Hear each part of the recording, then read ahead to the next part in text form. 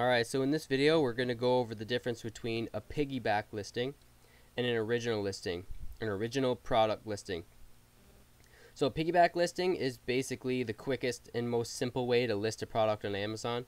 So if you're finding a product that already exists and you have a supplier that has that same product and you can mark it up to a price where you're including Amazon seller fees and any shipping or any other fees you have to add onto your supplier cost and you're still able to make a profit and you're able to compete with the first, second, third, or fourth lowest sellers price wise. Now, a lot of other factors go into getting the buy box.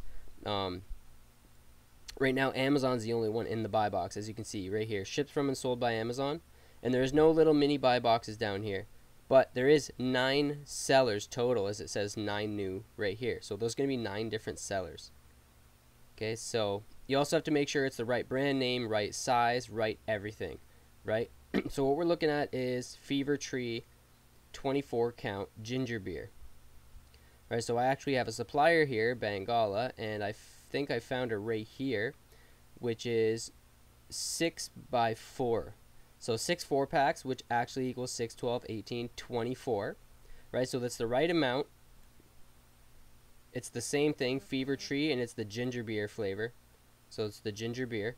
So we have it here for 30 bucks, and then um, shipping on something like this would probably be like 10 or 12 bucks. So that'll take us up to about $40. And then after Amazon fees, so if we sell this for let's say 50, we're going to add about $7 fees, right? About 15%. So that's going to take us up to about 47 bucks. Now what I need to do is take a look at all the other sellers and see what they're selling it for and see if I can undercut or be competitive price-wise. So I'm going to click here and view all the other sellers. and I see that Amazon's 33. Now when Amazon is here in stock and they're the lowest price, I'll still list this item. I'll still go for second or third or even fourth lowest price um, if, if, to, to list this item, right? If I see a seller that's got a really low price, that won't stop me from actually listing the product. Because first of all, not every supplier has the item unlimited in stock. So Amazon eventually will run out of stock, and when they do, guess who's going to be the next one to get sales? One of these guys that are that are you know one of these next few guys are going to be the guys who get rotated next into the buy box or they're going to get the the majority of the sales right? These guys over here for $60 and $57 they're not in the buy box range which is about a 5% on price.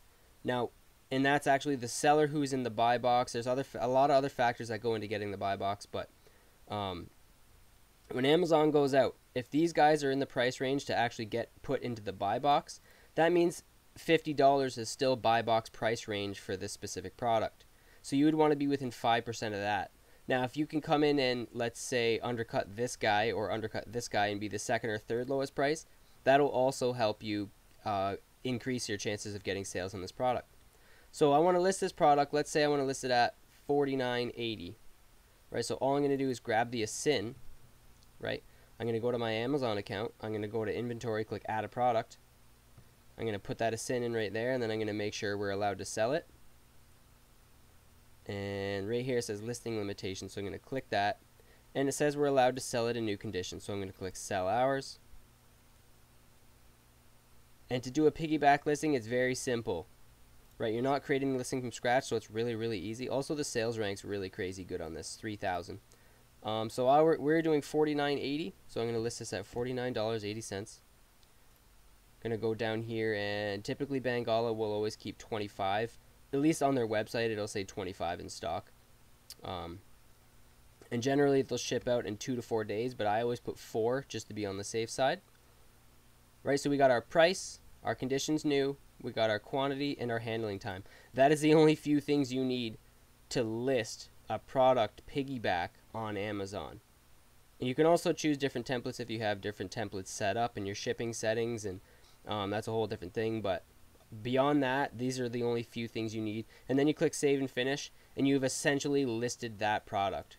Right? Pretty simple. Now, I do have another product, so now we're going to look at doing a original listing. So we're going to do an original listing instead of a piggyback listing. And we have this other supplier. They're actually a wholesale supplier as well, Sourced Universe. Um, this is actually, they're very, very dropship friendly. Now, if you go to the top of their website, any two items or more when you place an order with this code save 5 you're going to save 5% and when you actually go to the very bottom of their website on the home page you'll be able to sign up as a reseller so if you come down here click sign up here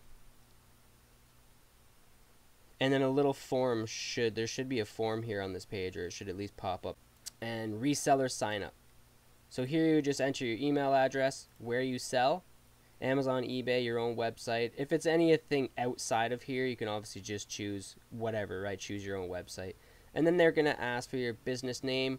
If you don't have a registered business, you can just give them your seller name. So your Amazon seller name or your eBay seller name or your Shopify store name, doesn't matter. Enter that here. And once you submit it, th- this will send uh, Sourced Universe an email and they will email you back with a better discount specifically for resellers. And it's 10% off any product site wide. So their shipping, um, it's three dollars economy shipping. So they ship economy, and they, it is local U.S. So it's economy shipping. I believe it's via DHL, and then they also have expedited, uh, which is fifteen dollars, um, two to five days expedited shipping. So they have two shipping methods. So generally, you're just going to look at economy. So when you're actually listing from this supplier, you're going to want to go to your shipping settings on Amazon, and you're going to want to set up a new shipping settings and add a new template. And you're going to want to add economy and choose like 5 to 10 days or 6 to 10 days. And then you're going to want to do add in an expedited. And what I like to do is charge at least a dollar or two more than the supplier is going to charge me. So if the economy shipping's 3 bucks and expedited's 15, I'll charge well generally I will actually factor I'll always have at least one option for free shipping. So if in this case I would do free shipping for the economy, so I would factor in that $3 shipping charge into my product cost, right? So if you find a product for uh, for $10, really it's 13. So we're going to do 13 because we're factoring in the shipping cost, right? So we can do free shipping on Amazon. But then you can add expedited shipping and charge 16 or 17 or $20, right? You can charge whatever you want for expedited shipping, give that additional option to your customers and believe it or not, it's going to help you one make more money because you're going to be upcharging them on the shipping costs, right? It's 15 bucks from Sourced Universe. You're going to be able to charge a little bit more, so you're going to make more money every time someone places an order with expedited shipping. And then second of all is it gives the customers a secondary option. So if they want to get the item faster, generally when you order anywhere, expedited shipping always costs more. So it's not like you're you know it's it's a standard business practice so you don't have to feel bad about it or anything. It's a it's a very good strategy. It's a great thing. Um, and knowing that it's always going to be 15 bucks from source universe if you set yours up at say 16 or 17.99 you're always going to be making additional profits every time someone chooses that at checkout right? So sign up for the reseller agreement and then you're just going to start listing products from them. So in this video i'm going to do an original listing this part of the video. Um, i think i was actually looking at this thing right here Oh no, I was actually looking at. Let's go over to Amazon, see what I had, what I was searching. Okay, foot peel. That's what I was looking for. Um, okay, foot peel. So if we go back to Sourced Universe, there's a foot peel right here for 265. So I'm going to open that up. I'm going to scroll down, and this is this is a foot peel. So it's a foot peel package, and Restores your skin, smooth as jade, natural cotton sock design, seamless fit. color is white. Okay, cool. So it's 265. Oh, maybe there's other color options. Okay, just one color. So it's 265, and then we're gonna add that three dollars expedited shipping, or three dollars uh, economy. So that's gonna be 565. But then we're gonna get 10% off after signing up as a reseller, right? 10% off site wide when you sign up for the reseller agreement. So um, and generally, they accept every single person. They're they're very very dropship and reseller friendly. So it's going to be 565. We're going to take away 10%. That's going to take us down to about $5.15 or $5.10. Then we're going to add Amazon seller fees. So before we add the seller fees, we got to see what's going on on Amazon with this product and if we can compete. So as you can see, if we're going to be paying around 5 bucks, we're actually in a really good place because a lot of these kits are well over 10 bucks. 10 15 18 16 18 17 13 18 10 bucks. So there's a lot of them that are they're pretty much 10 to 20 dollars right? 10 to 20 dollars. So if we're paying five dollars let's say we just sell it for 10 the ultimate lowest price on amazon 10 bucks or even 9 right? So if we sell it for 10 bucks amazon fees are 15% 15% of 10 dollars. $1.50.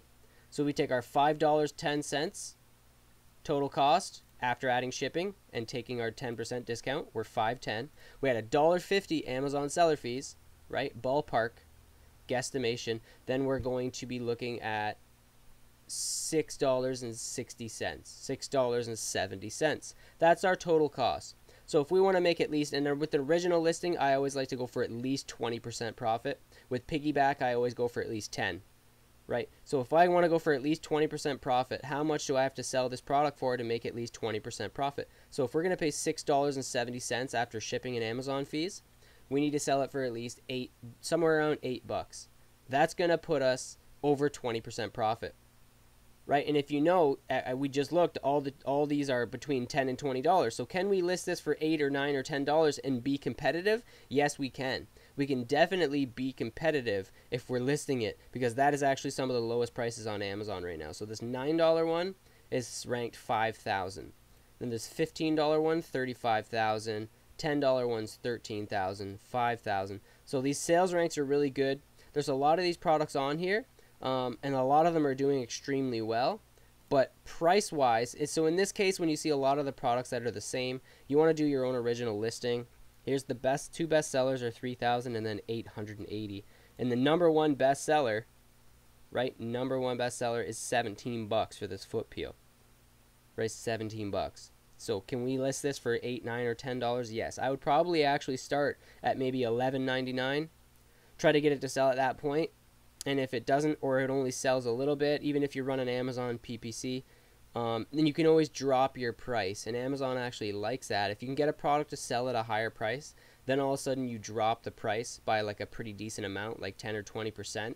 Amazon, some sometimes they may or may not actually give you a free organic boost in ranking.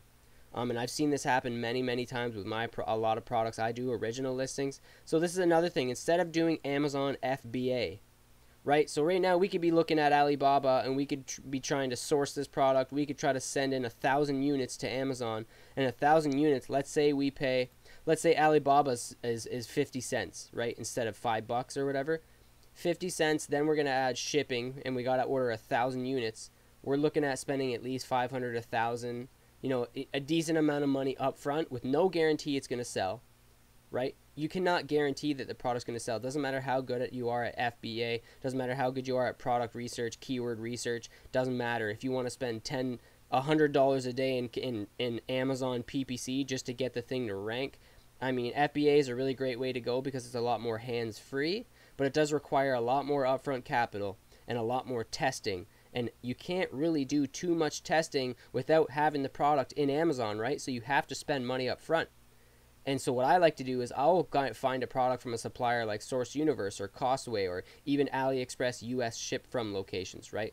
And do drop ship the item first, test its validity, see if you can get the product to sell, right? See if you can get the product to sell, see if you can get it ranked, and if you can, then maybe you want to go, okay, maybe I can now find this thing on Alibaba, send a thousand units to Amazon because it's already selling and it's already ranked and doing really well. So that means it's a guarantee your product will sell because you're already selling it via drop shipping. Now, a lot of the time, I will just list a product drop ship and an original listing like I'm doing right now with this uh, original listing from scratch, and I will never take it to FBA. As long as the supplier has it in stock, I will just keep drop shipping it, right? Even if it's 20 or 30% profit, but if I could source it from China, send in a thousand units, and I'd make 50% margin, I don't care. You know what I mean? Because to, to do that extra legwork and to send it all into FBA, I mean, if it's much easier just to keep drop shipping, because in that case, what you can do is you can continue to source new products, keep listing new products and scaling up your business, right? So you already got a product selling, and and with Amazon FBA, generally to get another product selling, you need more money up front. You have to go through the entire research process over again. You got to get test samples. You got to wait a two months to send it into Amazon. You got to do all this stuff, and there's no guarantee you're going to sell another product, right? No matter how good you are. So the best way to do it and the safest way to do it and the lowest cost, lowest risk is to drop ship first, right? Easiest way and most simple way to scale an Amazon business is to drop ship via piggybacking. So the first listing we did listing an item that already exists on Amazon. That is called piggybacking or hijacking, whatever you want to call it. That is the most simple method to scaling an Amazon business. But when you're using suppliers like Walmart and, and, and Bed Bath and Beyond, you don't really have the rights to resell these products. But if you use suppliers like Bangala, where they will give you a reseller agreement saying legally and you, legitimately you are allowed to resell their products, that safeguards you for selling on Amazon. You're actually allowed to sell the products. Like the ginger beer thing from Bangala that we listed a five minutes ago, where I'm allowed to resell that because I'm a reseller for Bangala. Now, if I ever get a message from a brand like the ginger beer brand saying you're not allowed to resell our products, what they're doing is they're assuming I'm drop shipping from a supplier like Walmart, for example. So I'm not going to have a legitimate invoice, and they're going to say stop listing our product or we'll report you to Amazon. And 90% of sellers that are doing their drop shipping are using retail suppliers, and the first thing they have to do is they got to delete the product or somehow come up with an invoice. Now, if you're using a good supplier like a wholesaler, like Bangala, for example, and you get a message from a brand or a company, all you do is go to Bangala and send them the SKU. Say, here's the item in question. They're asking for a reseller agreement or if we're allowed to resell their products. And I've probably done this almost 20 times using Bangala in the last year. And every single time, I have the company say, okay, thank you, and they leave me alone. Or occasionally, you'll get a company who wants to control their own destiny on Amazon so even though you're allowed to resell the uh, products from Bangala, that brand specifically, depending on the brand or the company, may not want you to resell their product on Amazon anyways, right? They might say, okay, well, you can sell our products on your own website, but we want to be the only ones to sell on Amazon. So even though you have an agreement with a wholesaler, it doesn't allow you to just resell any brand in the world because some brands like to control their own destiny. But for the most part, it adds a higher level of protection. It safeguards you. And anytime you ever get asked for an invoice from a legitimate supplier, you have them, right? So it's it's it's it's more difficult to scale a wholesale dropshipping business. It takes more time. Um, but that's why we have original listings. That's why you do this, and that's why this is the best way. Instead of doing Amazon FBA, or at least instead of doing Amazon FBA off the bat, start by doing drop shipping and doing your own original listings. Now, you want to have an example of a successful Amazon store? My Amazon store has about 1,300 products, and they're a mixture of wholesale dropship products, some of my own brand, and a lot of original listings dropship from suppliers just like this. A lot of original listings, just like this foot peel that we were we would list for $8.99 or $11.99. A lot of those, and we're doing 6,000 to $10,000 a day in sales every day on the Amazon US account, it's about four and a half years old, and that's the sales we're doing using just these methods, right? Just the methods I'm showing you in this video. So, and we have lots of students doing the same, doing you know, doing really really well with these. But the thing is about uh, wholesale and original listings is it takes longer, right? But the longest route possible is Amazon FBA, right? Especially if you have no experience and you don't have a lot of capital to buy products from China and source in like 500 or 1,000 units at a time you want to scale an uh, Amazon FBA business to $100,000 a month, it's going to take more time, way larger learning curve, more capital, more advertising expenses, potential losses, the and the risk is greater, right? So even with the world's best Amazon FBA coach, like even if I was to teach you step by step every single thing there is for Amazon FBA, which we do have FBA in our Mastering Amazon course, but I always highly, highly suggest starting with dropshipping first. And if you want to do an Amazon FBA product, Find it from a supplier like these guys. Drop ship it first. See if the product will even sell or not. Know what I mean? Instead of buying a thousand units, let's say you got an item that's five dollars. So if you have to order a thousand unit minimum quantity from China of something that's five bucks, that's five thousand dollars. Then you're going to be paying probably a thousand dollars shipping and a bunch of other, a couple other fees. You're going to be looking at at least five, six thousand dollars for a five dollar product from China. Order that in and send it to Amazon, and if that thing doesn't sell, or you can't get all of them to sell, or you can't get it to sell at the price point you originally wanted. I mean, it's a lot more of a difficult process. Now, over time, you can get really, really good at Amazon FBA. Um, but I always suggest doesn't matter if you're new or you've been doing it a long time. Drop ship the product first or merchant fulfilled, which is you know drop shipping is instead of using Amazon to fulfill it, fulfill it yourself. The easiest way to fulfill something yourself, drop ship it, so you don't have to store any inventory, just like we're doing right here. So if I got an order for this product after listing it and I wanted to go place an order and ship it to my customer, I don't have to order it to my house. I don't have to only thing I have to do is come here, add to cart, And then what I'm going to do is take my Amazon customer shipping information and place that on the website or the supplier where I'm placing the order and have them ship it directly to my customer. That is drop shipping in a nutshell. So, what I would do, the very next step I would do here for original listing is unlike piggybacking, you don't have to do any keyword research. You don't have to create the actual listing. All you're doing is adding those few little things like the handling time, quantity, and setting your price. Now, doing an original listing, you have to find keywords, you have to craft the entire description. You have to get good images. Now, a good thing about a supplier like this is you usually have some really nice images, and you can just take them and use them. Um, since you're allowed to resell their products, they will just let you, right? So you can got to do your images, got to do the description, got to do some keyword research, um, and we go over all that in a different video. So I'm not going to do it in this video, um, but this is the way you want to do it. So that's about it for this video. Don't forget to like and subscribe, and we'll see you guys next week.